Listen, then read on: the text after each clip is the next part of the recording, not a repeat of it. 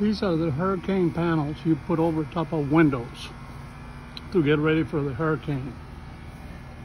Back these screws off. They had put anchors in there.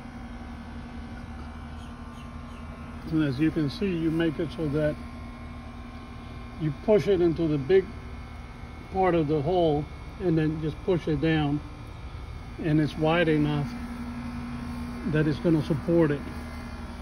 Just putting them in to make sure if a hurricane is coming, I can label all these and I know exactly where they go.